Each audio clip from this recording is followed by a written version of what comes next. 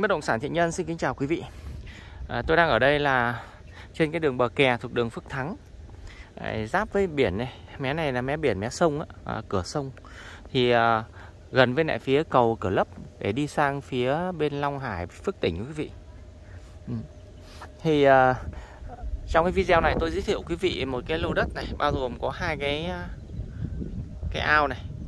Đây một cái ao này, đây một cái ao này Gọi là đùng ấy một gian nhà cấp 4 này. Đấy. thì uh, diện tích trên giấy tờ của nó là 950 m nhưng mà diện tích đang sử dụng ấy là nó tới 4 5 ngàn mét vuông luôn.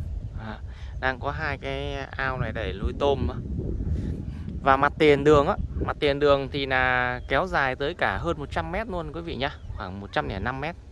Kéo dài từ tít cái bờ đó bờ đá đó cho đến uh, phía bờ bên này. Đấy, từ đến đây. Đấy, đất của mình đến đó. Và đặc biệt nữa là cái lô đất này nó giáp với lại cái đường ừ, à, đường đi lên của cao tốc quý vị nhá. Cao tốc Vũng Tàu Biên Hòa nó sẽ đi ngang đi chéo qua cái phía cuối của đất của mình. Đó. Nên rất là đẹp.